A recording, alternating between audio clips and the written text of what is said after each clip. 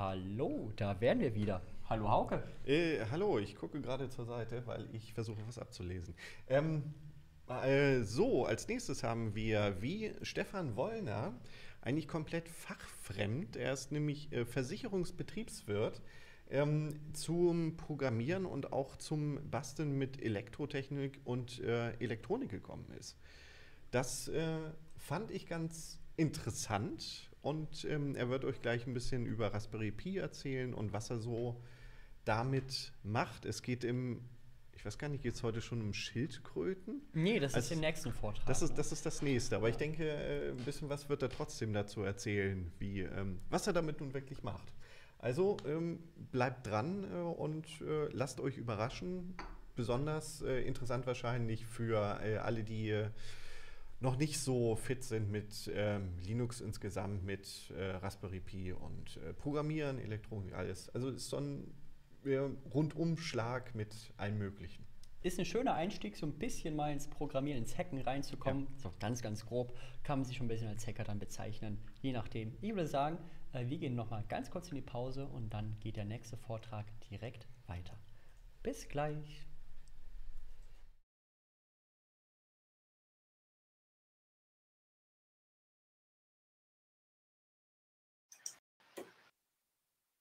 Hi, mein Name ist Stefan Wollner. Ähm, ich möchte euch ein bisschen was zu den Grundlagen äh, zu dem Raspberry Pi ähm, erklären. Erstmal ganz herzlichen Dank, dass ich überhaupt da sein darf und etwas auf den ähm, Linux-Tagen präsentieren darf. Ich selbst nutze Linux wie auch Windows und ich bin eben über den Raspberry Pi zu Linux gekommen. Ähm, und ich möchte ein bisschen was dazu erzählen, äh, dass man eben den Raspberry Pi auch als erste Möglichkeit, um in Linux einzusteigen, eben sehen kann.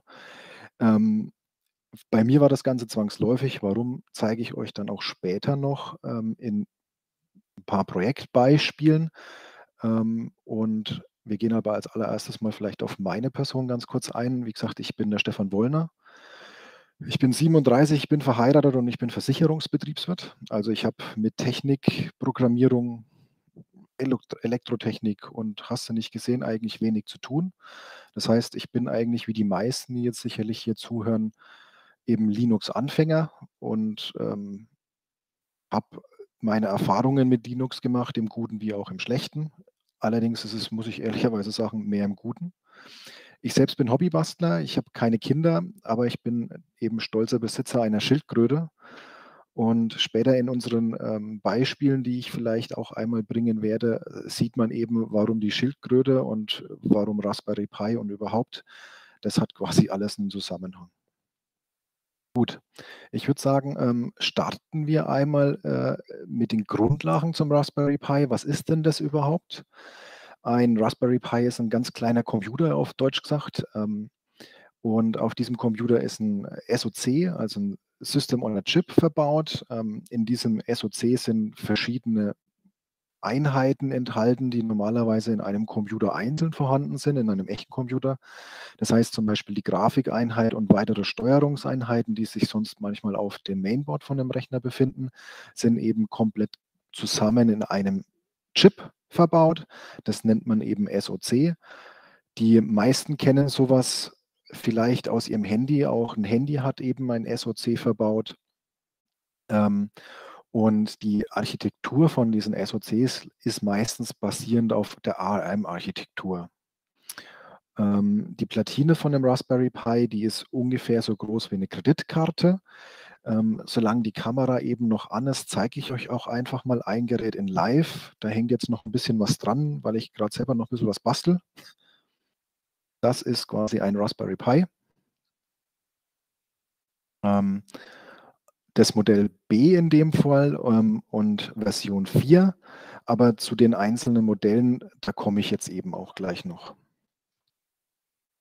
Gut. Zur Hardware von dem Raspberry Pi. Ähm, er besitzt eben wie ein normaler Computer auch eine CPU, eine GPU und diesen Raspberry Pi gibt es auch in verschiedenen Größen vom Arbeitsspeicher. Es gibt, wie ich vorhin gerade eben schon gesagt habe, verschiedene Modelle von dem Raspberry Pi. Und jedes Modell hat unterschiedliche Anschlüsse oder Ausstattungen. Ähm, das ist wichtig zu wissen, wenn man eben mit dem Raspberry Pi zum Beispiel starten möchte, um das Ganze vielleicht mal als Desktop-Ersatz zu nutzen. Ich, diese Anführungszeichen sind bewusst gewählt. Ähm, ein Raspberry Pi ist nicht sehr, sehr, sehr stark und ähm, produktives Arbeiten auf dem Gerät macht wenig Spaß. Aber er ist auf jeden Fall schon mal dafür da, ich kann Linux relativ einfach installieren und zwar viel einfacher als das, was wir jetzt eben gerade gesehen haben. Ich kann auch verschiedene Linux-Versionen probieren, das auch relativ zügig ähm, vom Wechseln. Und ähm, er ist eigentlich der perfekte Einstieg, wenn man eben das richtige Modell wählt. Wie gesagt, je nach Modell gibt es eben welche, die haben USB-Ports, die haben LAN-Anschlüsse, die haben auch WLAN mit an Bord. Das Bild, was man jetzt eben hier sieht, ist ein Raspberry Pi 2 gewesen, also ein älteres Modell, aber auch da sieht man eben schon, dass USB-Anschlüsse vorhanden sind. Ähm, bei dem Bild sieht man eben auch, dass der Raspberry einen HDMI-Ausgang besitzt. Ähm, bei dem, den ich euch gerade gezeigt habe, dieses kleine Modell, falls die Kamera irgendwann auch mal sagt, dass das Gesicht nicht mehr scharf gestellt werden soll, ähm, findet man hier oben zwei Mikro-HDMI-Ausgänge. Also das heißt, man kann da sogar zwei Bildschirme anschließen. Deswegen, ähm, es gibt verschiedene Anschlüsse und auch unterschiedliche Größen. Und weiterhin hat der Raspberry Pi ähm, normalerweise einen DSI-Ausgang. Das ist ein Display Serial Interface oder einen CSI-Eingang. Das ist quasi ein Camera Serial Interface. Das heißt, man kann eben an diesen Anschlüssen jeweils eben entweder ein Display anschließen oder halt eine Kamera, eine normale Kamera als Eingang mit benutzen. Gut, das erstmal zu den ganz, ganz groben Grundlagen von dem Raspberry Pi, was die Hardware betrifft. Gehen wir mal auf die einzelnen Modelle ein. Wir beginnen am sinnvollsten mit dem Modell, das ich euch empfehlen würde, falls ihr damit eben anfangen wollt. Ähm, das ist der Raspberry Pi 4 Modell B. Also das ist quasi schon die vierte Version und das Modell B ist eben im Prinzip die Version, die am besten ausgestattet ist. Ähm, er ist auch dadurch der schnellste, weil er den modernsten Chip verbaut hat, also den modernsten SoC. Er besitzt vier Kerne. Ähm, hat unterschiedliche Größe vom Arbeitsspeicher. Ganz am Anfang gab es noch ein Modell mit 1 GB, das gibt es mittlerweile nicht mehr. Danach geht es weiter mit 2, 4 oder 8 GB Arbeitsspeicher. Ähm, es stehen dann verschiedene Anschlüsse eben zur Verfügung. Eine GPIO-Leiste, was das Ganze ist, werde ich euch später nochmal ganz kurz erläutern. Ähm, er hat zwei USB 3-Anschlüsse, zwei USB 2-Ports, einen Gigabit Ethernet-Port und zwar einen vollwertigen, der direkt an dem SoC angebunden ist. Ähm, er hat zwei Micro-HDMI-Ausgänge, die tatsächlich auch 4K-Support bieten, und zwar beide Ausgänge. Das heißt, wenn man einen Monitor anschließt, der eben eine 4K-Auflösung hat, dann würde er 60 Hertz darstellen können. Wenn man zwei äh, Monitore mit äh, Micro-HDMI anschließt, dann sind es 30 Hertz. Er hat auch gleichzeitig WLAN und Bluetooth an Bord und hat eben diese beiden äh, vorher genannten äh, Schnittstellen CSI und DSI und ähm, hat auch zusätzlich noch einen kleinen 3,5 Zoll Klinkenausgang, der eben dann dafür da ist, dass man beispielsweise Audio herausbekommt. Das Audio, was da rauskommt, ist natürlich jetzt keine Hi-Fi-Klangqualität, aber auch dafür gibt es dann Lösungen. Da gehe ich später auch nochmal drauf ein, ganz kurz. Das ist quasi das Modell, was am gängigsten ist. Ähm, das ist am populärsten. Das Ganze kriegt man auf jeden Fall auch ganz gut her. Ich persönlich würde empfehlen, wenn ihr, da kommen wir auch später nochmal drauf, eine grafische Oberfläche benutzen wollt, also das, was eben gerade gezeigt worden ist, ähm, dass man eben mindestens das Modell mit 4 GB wählt. Ob man dann eben sich die 8 GB gönnen möchte, muss man für jeder für sich selbst eben überlegen. Gut, Gehen wir aufs nächste Modell. Das ist dann nicht das populärste, aber für das kleinste und auch langsamste Modell. Ähm, das ist der Raspberry Pi Zero. Ähm, der hat äh, einen relativ alten SoC. verbaut, der auch nur einen Kern hat und auch natürlich vom Takt her etwas langsamer ist. Ähm, der Arbeitsspeicher beträgt fix 512 Megabyte. Ähm, aber auch dieser Raspberry hat eben diese 40-Pin GPIO-Leiste. Er hat einen Mini-USB-to-Go-Port. Das ist einer von den beiden. Und zwar, ähm, wenn man sich das Bild genauer anschaut, ist es, ähm, wenn man die Maus jetzt gerade sieht, der hier eben. Ähm, an dem hat man die Möglichkeit, einen USB-Hub anzuschließen und hat dadurch dann eben wieder mehrere ganz normale USB-A-Ausgänge zum Beispiel zur Verfügung, wo man Maus und Tastatur anschließen könnte. Er hat einen Mini-HDMI-Anschluss, eben auch, um ein Bild auszugeben, das aber nicht mehr unter 4K läuft, sondern eben nur noch Full HD. Ähm, er hat WLAN und Bluetooth an Bord mittlerweile und er hat eine CSI-Schnittstelle an Bord. Das ist das kleinste Modell. Das äh, sollte eigentlich irgendwann mal bei 5 Dollar liegen. Ich denke mal, in Deutschland kriegt man äh, für knapp 10 Euro. Also es ist gerade zum Einstieg super günstig, eben um das Ganze zu probieren. Was man natürlich immer noch braucht, vielleicht habe ich jetzt äh, das Ganze schon vorweggenommen, man sieht, es ist nirgendwo ein Serial ATA-Port vorhanden. Das heißt, ähm, man kann keine normale Festplatte anschließen. Ähm, der Raspberry Pi benutzt als Festplatte ähm, eine Micro-SD-Karte und das ist auch dann das Geheimnis, warum ähm, der Raspberry Pi relativ einfach zu installieren ist. Wie gesagt, wie das funktioniert, das zeige ich dann eben später noch. Ich habe mich auch bewusst ähm, für das Betriebssystem Windows im Moment entschieden, weil wenn dann die meisten umsteigen würden, wollen sie sicherlich einmal sehen, wie schaut es denn aus, wenn ich das Ganze aus Windows heraus mache und eben nicht aus einem bestehenden Linux heraus. Gut, gehen wir zum nächsten Modell. Das ist im Moment ähm, ganz aktuell auf den Markt erst gekommen. Das ist äh, eine Verbindung von etwas, was äh, die Raspberry Pi Foundation eben herausgebracht hat. Und zwar hatte sie mal eine Tastatur für den Raspberry Pi entwickelt, die ganz normal über den USB-Port angeschlossen werden konnte. Ähm, und hat in diese Tastatur einen Raspberry Pi integriert, der nennt sich Raspberry Pi 400.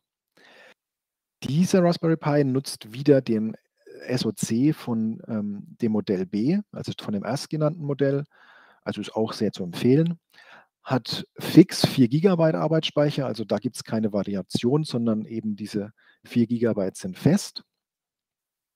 Er hat ähm, ebenfalls eine 40 Pin GPIO-Leiste. Das ist ähm, die Leiste, die man hier vielleicht ganz gut sieht. Ähm, die, die, wird hier äh, wie mit einem alten Festplattenkabel, würde ich jetzt einfach mal behaupten, äh, Anschluss äh, herausgeführt. Wie da die spezielle Bezeichnung heißt, weiß ich gar nicht. Ähm, er hat zwei USB 3-Ports, einen USB 2-Port. Der zweite USB 2-Port, der ist weggelassen worden. Der, ist, der wird dafür genutzt, um eben die Tastatur direkt intern anzubinden. Ähm, er hat auch einen Gigabit Line-Port, hat wie eben auch der große die zwei Micro-HDMI 4K-Ausgänge und WLAN und Bluetooth. Ähm, das Modell ist eigentlich, wenn man weniger, weniger zum Basteln, eher dafür da, dass man sagt, okay, man kann vielleicht wirklich den Raspberry als Ersatz für seinen normalen PC nutzen. Das nächste Modell ist auch schon das letzte, was ich eigentlich vorstellen möchte. Ich gehe bewusst nicht auf ältere Modelle eben ein, weil man die zum Teil ähm, nicht mehr aktuell kaufen kann. Und ähm, die Raspberry Pis an sich kosten eigentlich immer so, das ist Modell B, was ich eben empfehlen würde, so um die 35 Euro. Kommt auch wieder auf die, ähm, die RAM-Ausstattung natürlich an. Ähm, wenn man jetzt neu einen kauft, sollte man sich natürlich auch den neuesten kaufen. Deswegen lasse ich die älteren Modelle weg. Nichtsdestotrotz, wer ein älteres Modell hat, muss sich nichts Neues kaufen. Auch die älteren Modelle funktionieren. Ähm, ich habe dieses Vierer-Modell für mich jetzt zum Testen, einfach deswegen, weil er am schnellsten ist, wenn ich mal äh, Programme kompiliere. Ähm, oder was Neues installiere, weil das mache ich dann öfters auf dem Gerät, weil ich es vielleicht doch einmal kaputt mache, das Betriebssystem. Ähm, auf meinen, in meinen Projekten laufen meistens relativ alte Raspberries, weil die halt einfach meistens nichts zu tun haben. Okay, gehen wir aber nochmal weiter auf das Modell hier jetzt ein. Das ist das Raspberry Compute Modul. Ähm, es ist eine sehr spezielle Variante ähm, von dem Raspberry Pi. Er ist eigentlich, oder dieses Compute-Modul ist eigentlich auch nicht unbedingt prädestiniert dafür, um es ähm, als Testplattform für sich selbst zu nutzen, sondern das ist eher dafür entwickelt worden, ähm, um Hardwarehersteller wie zum Beispiel NEC oder Embedded-Systeme äh, den Raspberry Pi einzubinden. Und zwar ist es so, NEC hat zum Beispiel bei ihren ähm, Fernsehern, und das ist jetzt übertrieben, das ist gar kein Fernseher, das ist so ein Display, was eigentlich 24-7 Support eben hat. Ähm, Raspberry Pis verbaut, eben als direkt als Media Player intern verbaut. Und dafür haben sie eben zum Beispiel so ein Compute-Modul genutzt. Wenn man das Compute-Modul kauft, ähm, kann man so, wie es jetzt ausschaut, das ist recht klein, das ist so klein wie eine Kreditkarte ungefähr, ähm, gar nicht nutzen, sondern man braucht dafür eben ein IO-Board, nennt sich das Ganze, wo man dieses kleine Gerät wieder aufsteckt und auf diesem IO-Board, da sind dann eben alle Schnittstellen vorhanden und werden nach außen geführt, dass man sie normal anschließen kann. Also sprich USB, ähm, Grafikanschluss. Und als Besonderheit bei dem Compute-Modul hat man sogar eine richtige, ganz normale PCI Express-Line, die man nutzen kann und ähm, da eben auch ganz normale Karten anschließen kann, ähm, die PCI Express unterstützen. Da gibt es einen im Internet, der das Ganze auch relativ häufig probiert über dieses IO-Board, was man eben mit diesem ähm, Raspberry Pi machen kann und mit dieser Schnittstelle, der nennt sich Jeff Gerling. Ähm, der betreibt einen relativ bekannten YouTube-Channel über den Raspberry Pi. Und der probiert zum Beispiel ähm, Grafikkarten als Beispiel mal oder Netzwerkkarten, und zwar 10 Gigabyte Netzwerkkarten beispielsweise an den Raspberry Pi anzubinden, indem dass er eben auch zum Teil den, den Kernel neu kompiliert, um eben die Treiber äh, zu installieren. Und er stößt auf ganz viele andere Probleme. Ähm, das ist meistens sehenswert, kann man sich auf jeden Fall mal anschauen. Und auch da lernt man dann was, wie Linux an sich aufgebaut ist. Also auch empfehlenswert. Gut, die Ausstattung von diesem äh, Compute-Modul selbst ist recht ähm, unterschiedlich und kann sehr an die Bedürfnisse von dem jeweiligen Hersteller angepasst werden. Das heißt, es gibt die Modelle mit WLAN, ohne WLAN, es gibt ähm, verschiedene Arbeitsspeichergrößen, es gibt die Möglichkeit, EMMC äh, hinzuzu kaufen. Das ist, äh, sind kleine Module, wo eben die, was ich vorhin erwähnt habe, die SD-Karte ersetzt und man das Betriebssystem eben auf diesen Speicher installieren kann. Ähm, ich glaube, mittlerweile gibt es da 32 unterschiedliche Variationen von diesem Compute-Modul, eben mit, ohne Arbeitsspeicher, mit größer, ohne Witter. Ähm, wie gesagt, zum einfachen Einstieg und zum einfachen Nutzen würde ich persönlich immer diesen erstgenannten Raspberry Pi 4 empfehlen. Nur man soll das mal gehört haben, falls man jetzt irgendwo in den Shop geht, werden natürlich auch die Compute-Module gerade ähm, gut beworben, weil viele Bastler halt dann eben dieses Format vielleicht sogar suchen, weil es klein ist. Gut. Das zu den unterschiedlichen Modulen äh, oder beziehungsweise zu den unterschiedlichen Modellvarianten von dem Raspberry Pi. Ähm, es gibt zu dem Raspberry Pi auch ganz, ganz viel Zubehör, was sich über die Jahre hin jetzt entwickelt hat. Ähm, es gibt ganze Firmen, die sich speziell darauf ähm, spezialisiert haben, für diesen kleinen Computer zusätzliche Hardware zu bieten. Ähm, als Beispiel hier mal ein, ein Kameramodul, das ich, das, also ist mein Kameramodul, das ist noch eins der allerersten Kameramodule. Die kann man eben zum Beispiel dann über ein Flachbandkabel mit dem Raspberry Pi verbinden, über den vorhin genannten CSI-Port und hat dann eben oder kann den, den, Raspberry Pi dann eben in zum Beispiel in eine Netzwerkkamera umbauen, hat die Möglichkeit, ähm, den Raspberry Pi draußen an die Tür zu bauen und wenn jemand klingelt, dass ähm, beispielsweise ein Livestream auf das Handy übertragen wird, wo man dann vielleicht sogar die Tür öffnen kann. Wie sowas funktioniert, können wir uns vielleicht später nochmal anschauen oder funktionieren kann. Nichtsdestotrotz, es gibt ganz viel Zubehör. Ähm, die Kamera ist nur ein spezielles Zubehörteil. Das ist auch offiziell von der Raspberry Pi Foundation selbst entwickelt worden und wird von denen auch vertrieben. Ähm, es gibt auch noch ein paar andere, ein bisschen anderes Zubehör. ähm, was die Raspberry Pi Foundation für den Raspberry vertreibt. Das ist zum Beispiel der Senset. Das ist ein relativ berühmte, ein berühmter Add-on, das steckt man quasi oben auf den Raspberry Pi drauf. Ähm, dann werden, wird dieser Head, äh, also Hut, nenne ich es jetzt einfach mal auf Deutsch, ähm, mit dem Raspberry Pi verbunden über diese GPIO-Leiste und kann darüber eben gesteuert werden. Also da ist dann zum Beispiel ein Gyroskop, wenn mich nicht alles täuscht, drinnen und es sind LEDs drauf. Und es gibt auch einen anderen Head, der nennt sich PoE-Head. Ähm, und zwar der Raspberry Pi wird normalerweise, wir probieren es wieder, hier oben über einen USB-C oder die älteren Varianten über einen Micro-USB-Port mit Strom versorgt. Und die aktuellen Varianten von dem Raspberry Pi haben die Möglichkeit, auch über einen PoE-Head mit Strom versorgt zu werden. Das nennt sich Power over Ethernet. Da braucht man einen speziellen äh, Switch dafür eben und kann dann eben, ohne dass man einen Stromanschluss hat, den Raspberry Pi auch über diesen Head mit Strom versorgen. Wie gesagt, es gibt auch viele andere Firmen, die dazu viel Zubehör entwickelt haben und auch auf den Markt bringen. Ähm, angefangen von ganz speziellen Einsatzzwecken, wie jetzt zum Beispiel, dass man für den Raspberry Pi oben eben einen Motortreiber draufstecken kann und dann kann man den Raspberry Pi relativ zügig zu einem Elektro, also zu einem äh, fernsteuerbaren Fahrzeug umbauen. Das heißt, da sind die Treiber drauf, man muss die Motoren einfach nur noch an diesen Head anschließen.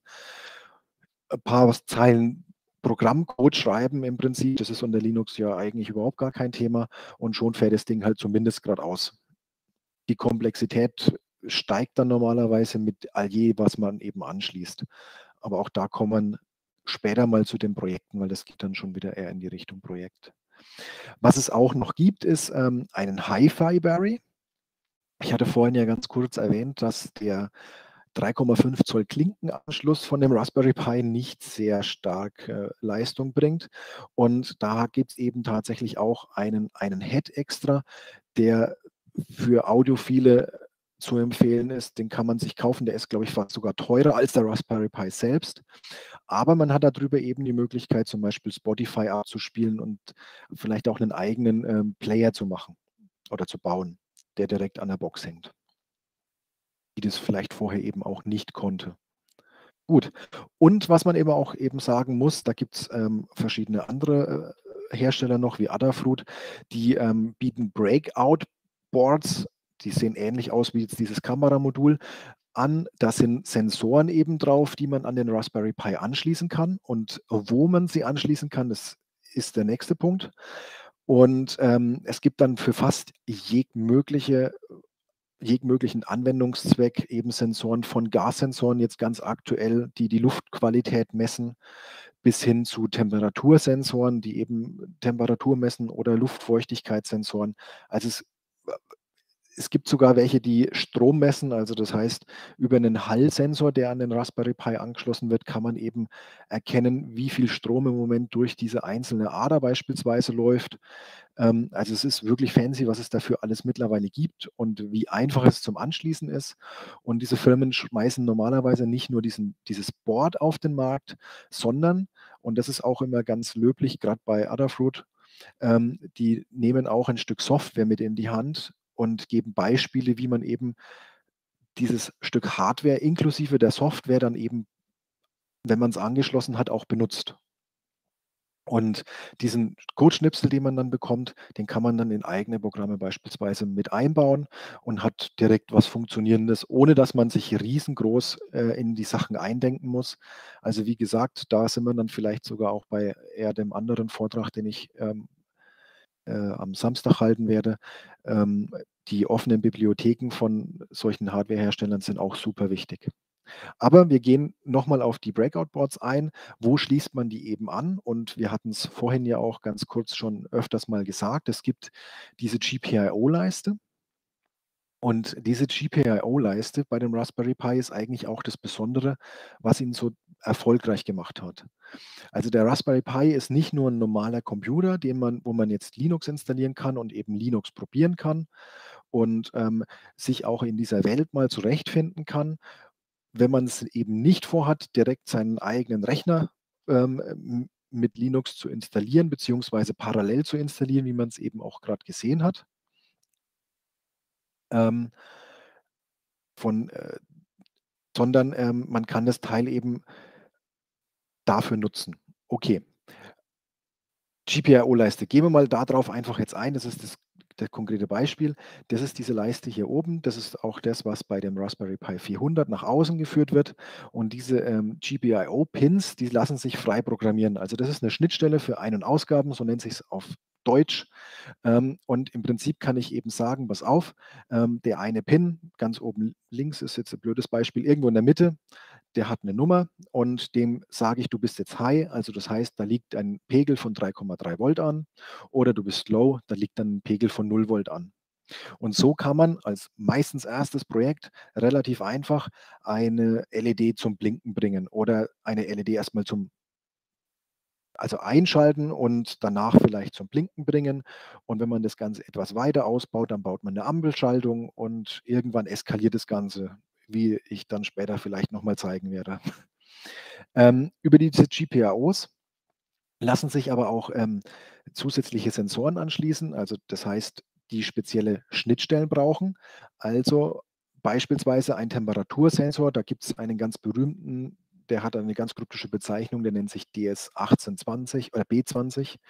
Ähm, der wird über die One-Wire-Schnittstelle entsprechend äh, bedient und die kann man eben auch in dem Raspberry Pi aktivieren. Wie das geht, zeige ich dann.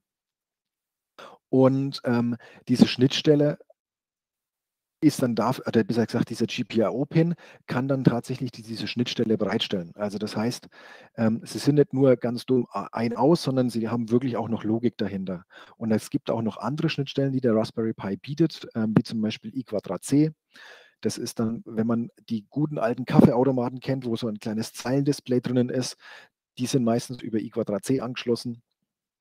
Ähm, oder eine UART-Schnittstelle, die kann man dafür nutzen, um eben eine Konsole darzustellen tatsächlich, also dieses Login-Prompt, was man von Linux kennt, und zwar bevor überhaupt ein normales Bild über die, über die HDMI-Ausgänge rausgeht oder falls tatsächlich mal über den HDMI-Ausgang gar nichts rausgeht. Also könnte man darüber sich das Ganze abgreifen und eben entsprechend anzeigen lassen.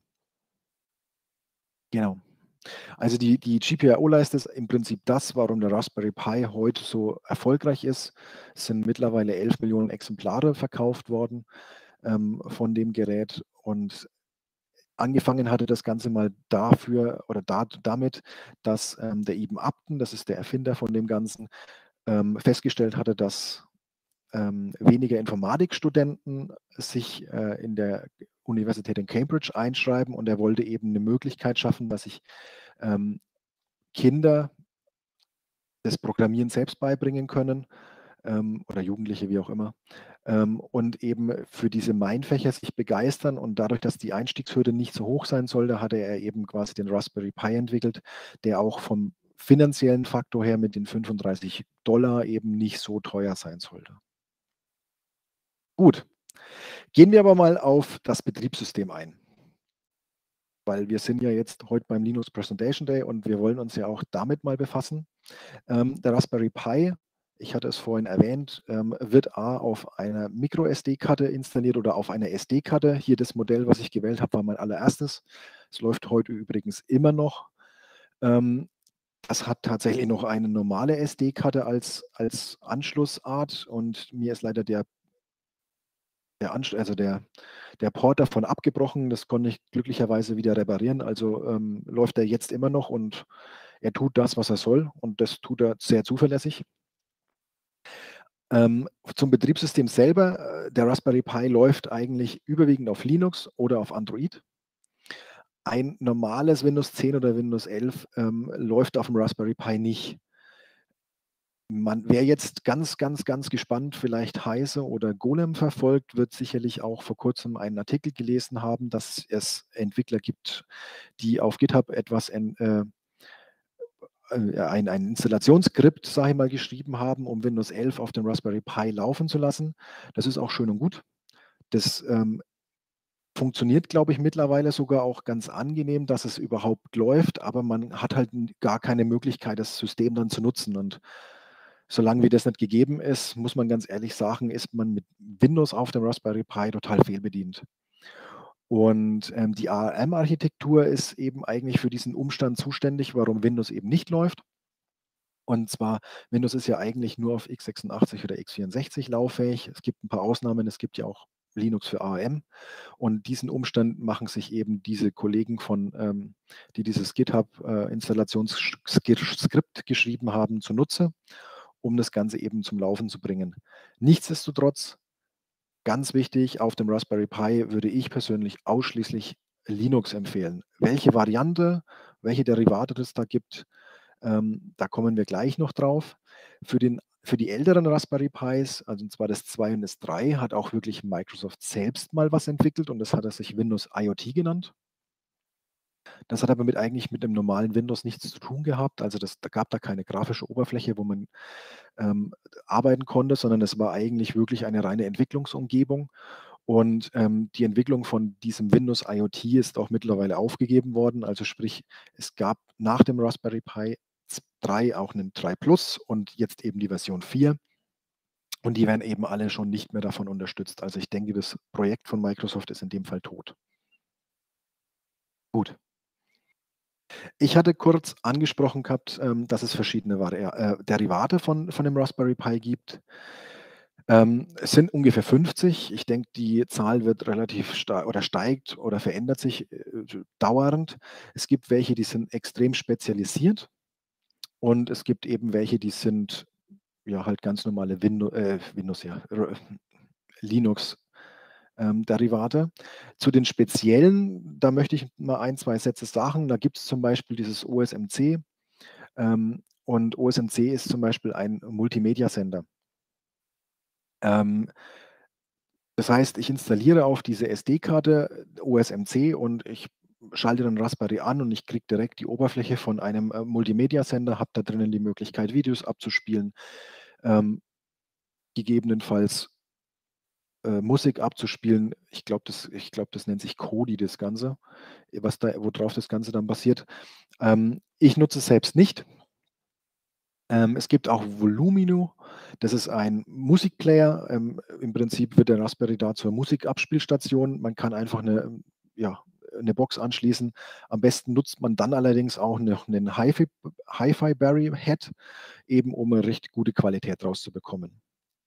Dann auch eine ganz, ganz, ganz beliebte ähm, Version oder spezielle Variante ist RetroPie, nennt sich das Ganze. Und zwar ist es eine Spieleemulation. Das heißt, man kann auf dem Raspberry Pi dann alte Spiele spielen, so PlayStation 1 Spiele oder noch viel älter. Wichtig ist da dazu, ähm, man hat einen Emulator dadurch. Die ROMs, die man benötigt, um die Spiele zu spielen, die muss man allerdings selbst haben. Und wer sie aus dem Internet lädt, könnte sich strafbar machen, weil es dann natürlich Urheberrechte gibt. Äh, nichtsdestotrotz, ein paar sind bei RetroPie dabei, die sind eben offen und die kann man benutzen und alle anderen ROMs müsste man halt wenigstens im Original haben. Gut, dann gibt es ähm, DietPi. Das ist eine spezielle Variante von einem normalen Linux. Und zwar ist es, wie der Name schon sagt, äh, extrem leichtgewichtig.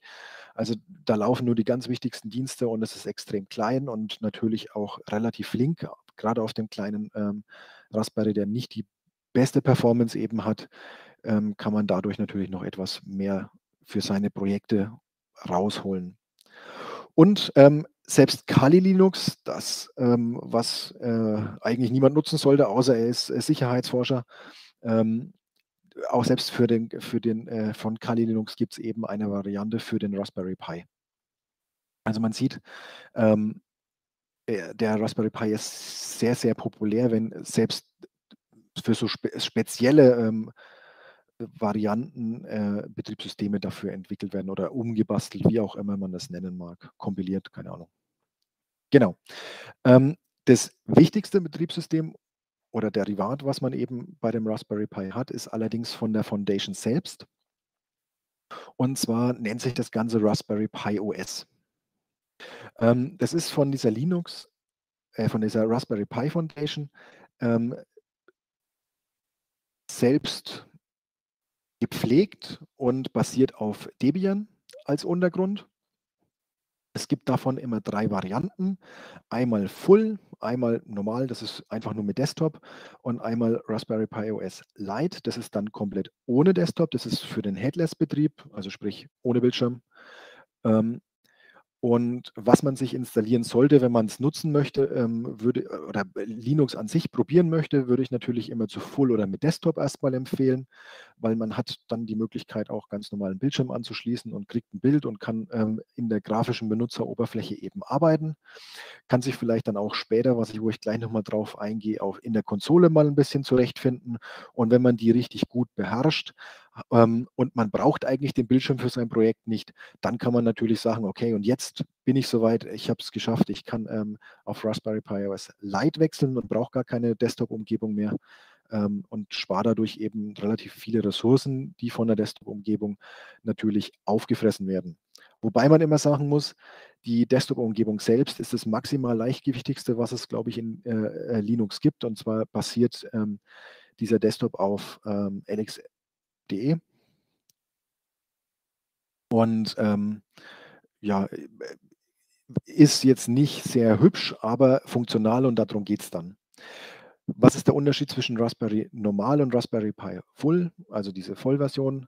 Ähm, da sind ein paar Programme speziell noch dabei, die normalerweise Geld kosten, also zum Beispiel Mathematica oder Wolfram. Ähm, das sind äh, spezielle Programme, die kosten normalerweise Geld und sind auf dem Raspberry Pi aber kostenlos mit enthalten. Wenn man jetzt die normale Version installiert hat und eben diese zusätzlichen Programme noch möchte, hat man aber immer noch die Möglichkeit, die Programme nachträglich zu installieren. Wie das geht, schauen wir uns dann auch nachher nochmal an. Ähm, und Veränderungen am System, die man überhaupt vornehmen möchte, das macht man etwas anders wie vielleicht ähm, bei einem normalen Computer. Die werden immer über diese boot-config.txt vorgenommen. Ähm, auch das muss man aber nicht mit der Hand immer machen. Auch da gibt es mittlerweile grafische ähm, Unterstützung und Hilfe von dem Computer, um das Ganze durchführen zu können. Auch das schauen wir uns dann gleich nochmal an. Gut. Wie installiert man jetzt das Betriebssystem für den Raspberry Pi. Ähm, das Betriebssystem wird an sich beim Raspberry Pi gibt es erstmal kein BIOS, es gibt kein UFI, sondern der Raspberry Pi wird über den, ich sage es jetzt mal ganz platt, über die Grafikkarte gebootet. Also was komplett anderes zu einem normalen Computer. Ist auch vielleicht etwas einfach ausgedrückt. Das Ganze läuft über den CPU-Core, weil es eben ein ARM-SOC ist, aber man muss gar nicht genau wissen, wie das läuft, sondern wichtig ist, es gibt kein BIOS und kein UEFI. Die Installation funktioniert eben deswegen anders. Es wird auch zwingend ein anderer Computer, ein normaler anderer Computer benötigt. Ähm, und zwar deswegen, weil man eben dieses Image, das es für den Raspberry Pi gibt, direkt auf die SD-Karte schreibt. Oder halt auf den USB-Stick. Neuere Varianten können auch über USB äh, booten. Ähm, nichtsdestotrotz man braucht eben mindestens einen Computer. Und wie das Ganze dann funktioniert, das schauen wir uns jetzt einfach mal an. Und zwar gibt es dafür selbst von der Raspberry Pi Foundation das, den ähm, Raspberry Pi Imager, nennt sich der. Und hier gibt es auch für relativ äh, äh, einfach gemacht ein paar Schaltflächen, und zwar drei Stück, um genau zu sein, ähm, die direkt hervorheben. Man hat einmal die Möglichkeit, erstmal das Betriebssystem zu wählen. Das heißt, man kann sich hier ähm, die Empfehlung, sage ich mal, einfach anklicken, dann wird die runtergeladen und auf die SD-Karte geschrieben. Oder man hat sich selbst schon mal eine, äh, ein Image runtergeladen und hat dann eben die Möglichkeit, hier über eigenes Image ein Image zu installieren. Ähm, ich nehme bewusst jetzt mal nicht das oberste Image, weil ich müsste sonst noch laden nebenbei. Ich nehme äh, be bewusst mal anderes Image und man sieht, ich habe selbst einen Ordner, der nennt sich Raspberry Pi OS Lite und ich habe verschiedene ältere Versionen auch noch vorrätig, aber gut, ob man die speichern muss, ist was anderes. Und ähm, wir nehmen jetzt einfach mal diese Lite-Version, klicken die an. Das heißt, er würde die als Image nehmen. Danach muss ich mir aussuchen, wo ich denn dieses Image hinschreiben möchte.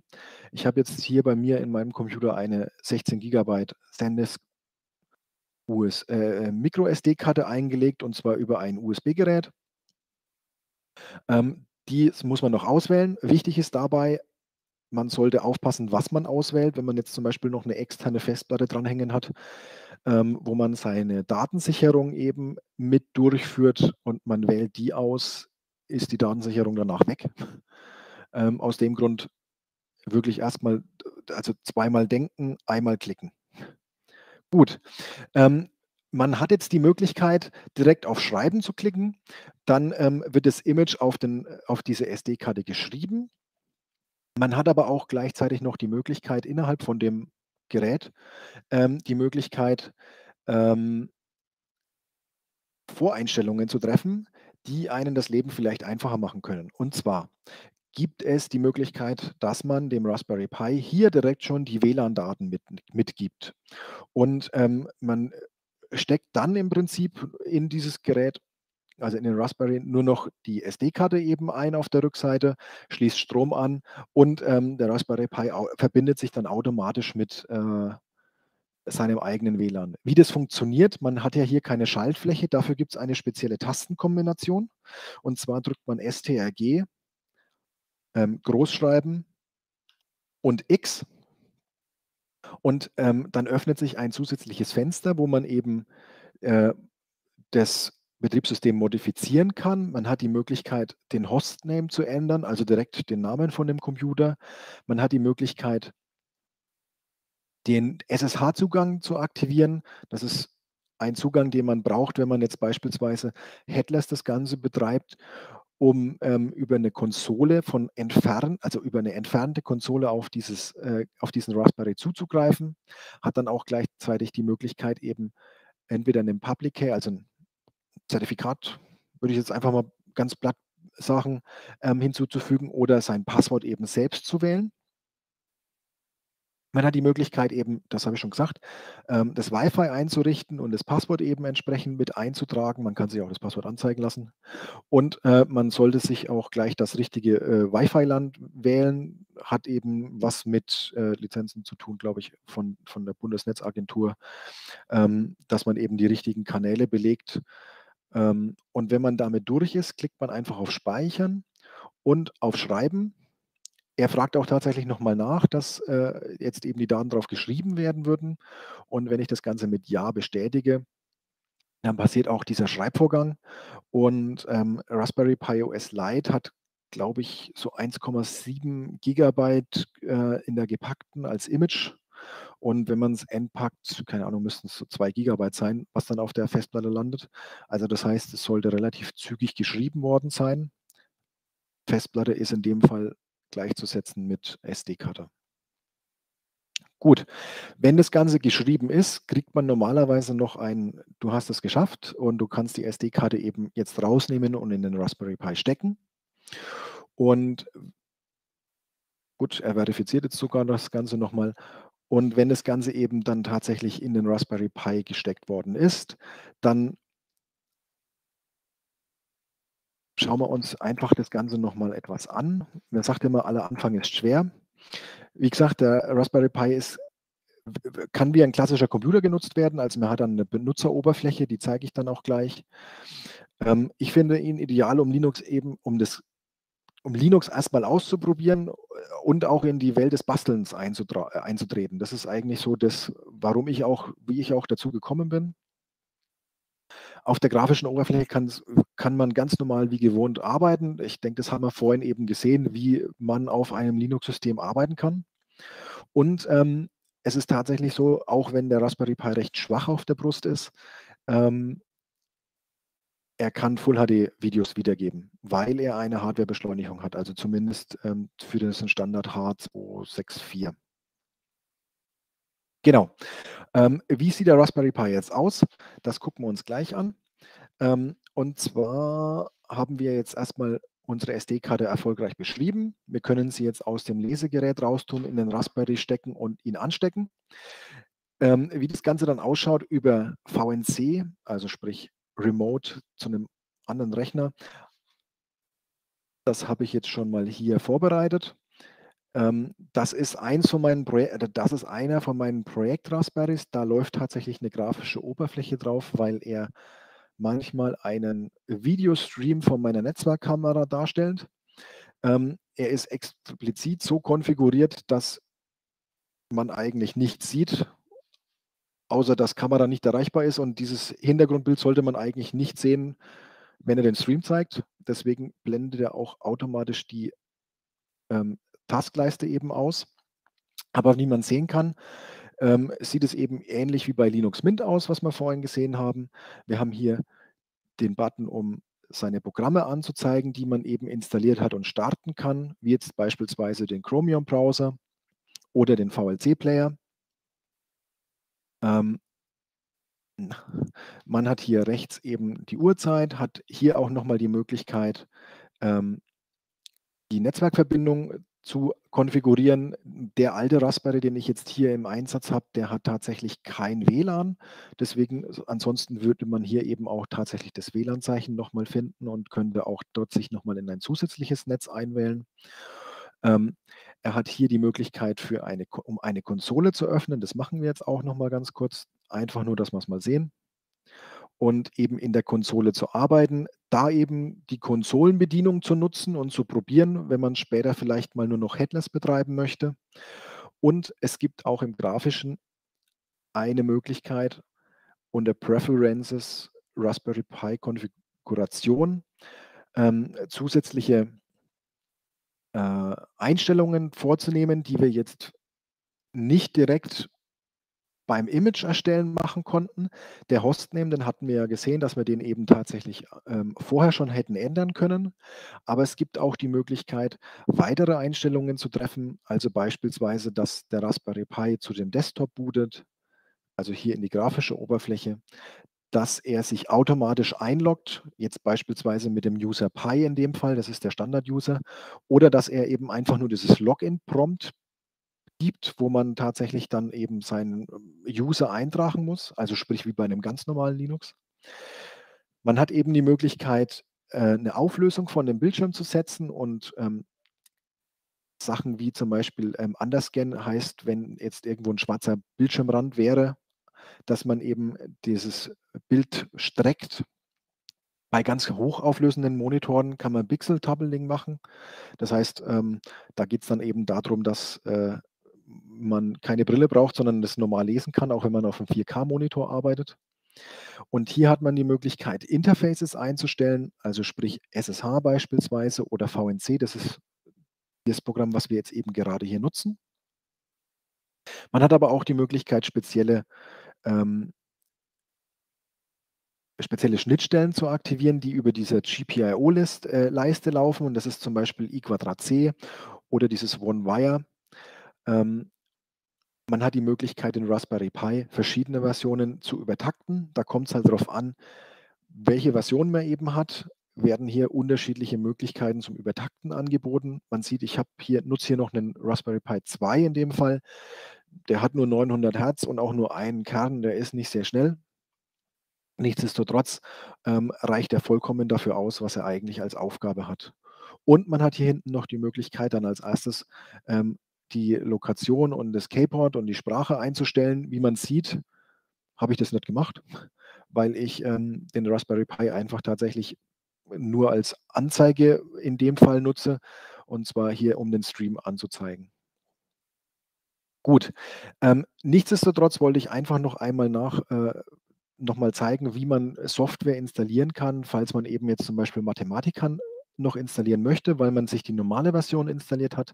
Auch hier gibt es die Möglichkeit unter Preferences, Recommended Software eben, sich das Ganze anzeigen zu lassen. Es dauert immer ein bisschen.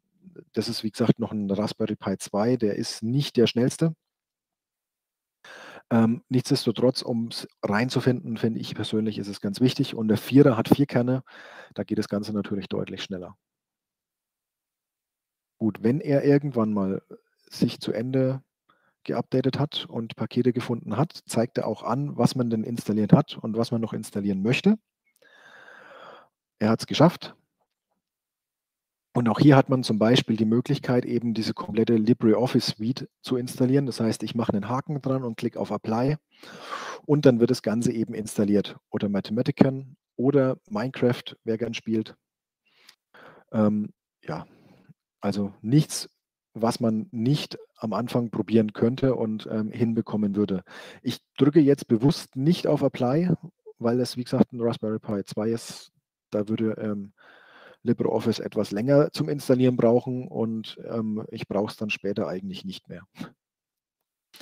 Gut, das ist die grafische Bedienung von einem Raspberry Pi.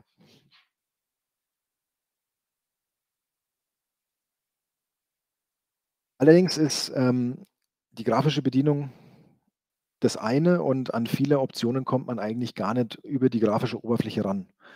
Und ähm, dafür ist es dann eben wichtig, dass man die Kommandozeile sich oder mit der Kommando lernt, mit der Kommandozeile zu arbeiten, sagen wir es mal so.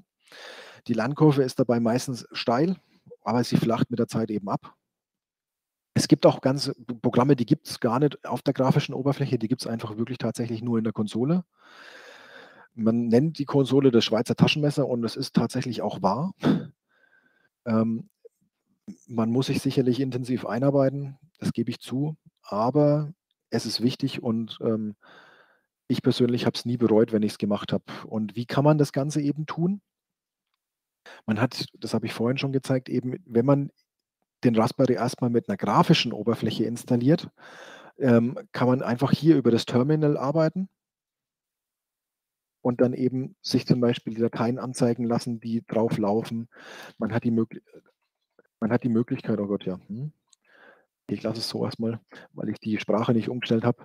Ähm, also ich benutze diese Konsole hier so nie. Ich gehe immer von außen per SSH drauf. Ähm, wenn man nämlich quasi mal wirklich tatsächlich die Konsole beherrscht, hat man dann eben die Möglichkeit, zum Beispiel über, wenn man Windows immer noch nutzen möchte, über PuTTY die Möglichkeit, dann ähm, sich auf dem Raspberry Pi anzumelden und ähm, dort dann beispielsweise seine äh, Programme auszuführen oder spezielle Programme. Ähm, das ist jetzt selbst was Geschriebenes, was im Prinzip, aber ist ja egal. Ähm, die Konsole ist eigentlich das Wichtigste. Lernt es. Es lohnt sich. Gut. Ist ganz kurz zur Konsole.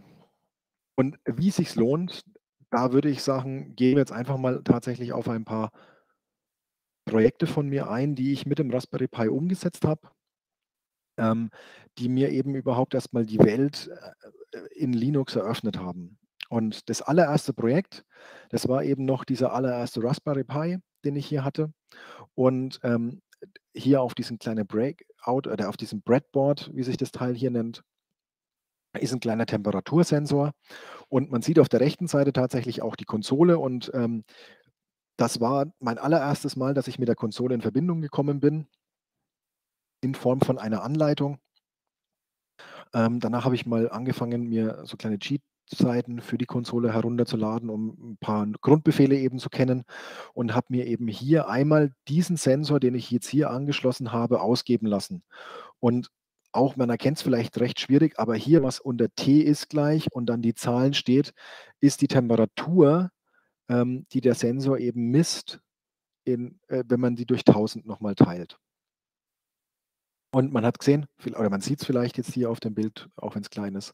Ähm, ich hatte 21 Grad und wenn man mit dem Finger einfach mal auf den Temperatursensor gegangen ist, war der eben tatsächlich, ist der Wert nach oben gegangen. Und so konnte ich das allererste Mal, und da war ich super stolz drauf, ähm, in einem Betriebssystem, was ich nicht gekannt habe, ähm, eine Temperatur mir ausgeben lassen und habe das dann eben weiterverwendet, um zu meinen normalen Projekten zu kommen. Und ich hatte es vorhin schon erläutert, ganz kurz, Projekte eskalieren recht schnell mit dem Raspberry Pi, so auch meine.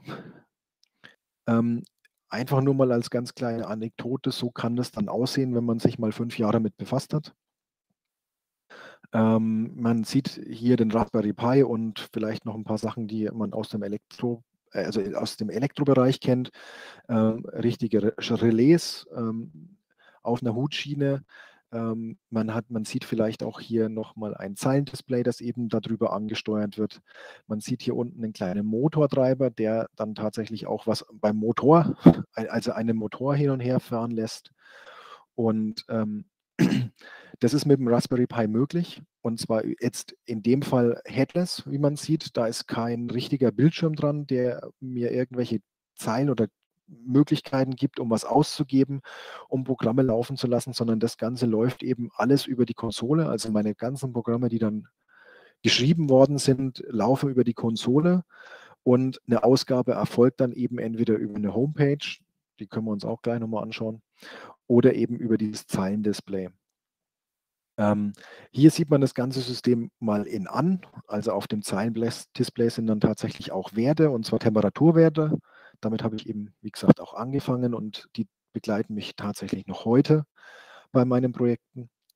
Und ähm, so Zwischenstände von verschiedenen Projekten kann man hier mal sehen. Also das heißt, ähm, ja, schön ist es nicht. Ähm, man hat irgendwann auch mal die Möglichkeit nicht mehr oder den Überblick nicht mehr, wie sowas ausschauen kann. Und dadurch, dass ich diesen Überblick eben nicht mehr hatte, habe ich mich dann entschieden, das nochmal neu zu machen und etwas aufgeräumter darzustellen. Ähm, das Ganze, was wir uns jetzt gerade angeschaut hatten im, im Live, ist im Prinzip meine Kamerasteuerung, die ich eben habe. Hier ist, hier ist mein Raspberry. Der ist an einem, an einem äh, hier Terrarium angebracht, aber einfach nur, damit man ihn verstecken kann.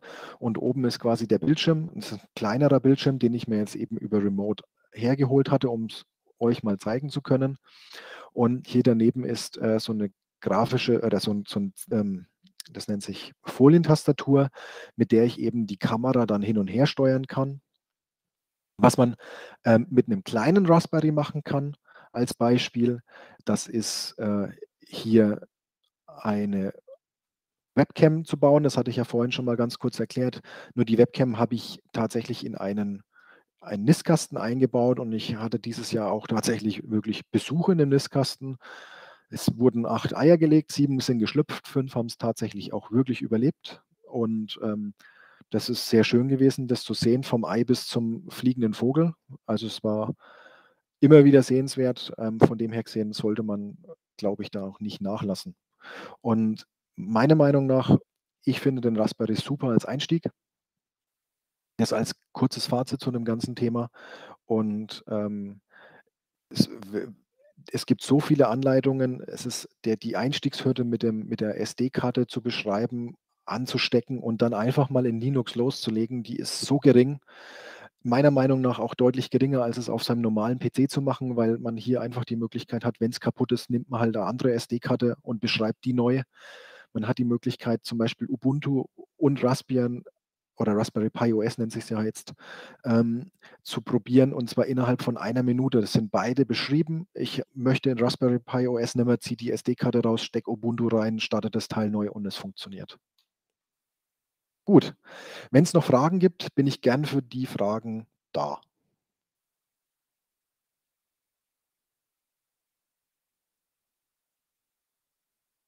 Natürlich weiß ich nicht, wie ich die Fragen kriege.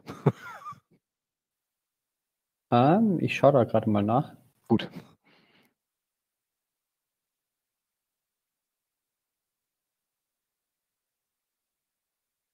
Jetzt kommt die Frage, wo kann man die Videos später ansehen? Äh, auf dem Linux Guides YouTube-Kanal, aber äh, wir tun auch nochmal alle gegebenenfalls, beziehungsweise alle nochmal schneiden, die dann alle nochmal separat hochgeladen werden. Entweder Keylux-Kanal oder YouTube Linux Guides-Kanal, je nachdem. Ansonsten, ähm, so richtig Fragen zu dem Thema habe ich bis jetzt nicht gesehen. Dann erstmal dir herzlichen Dank, Stefan. Gerne. Äh, war ein sehr interessanter Vortrag, ich muss sagen. Ja. Werde ich mir auch nochmal äh, tatsächlich meinen Raspberry Pi aus der Schublade packen. Und ähm, ja, dann würde ich sagen, äh, gehen wir gleich zu der Moderatorenszene über bei YouTube. Und ähm, Jo, bis gleich.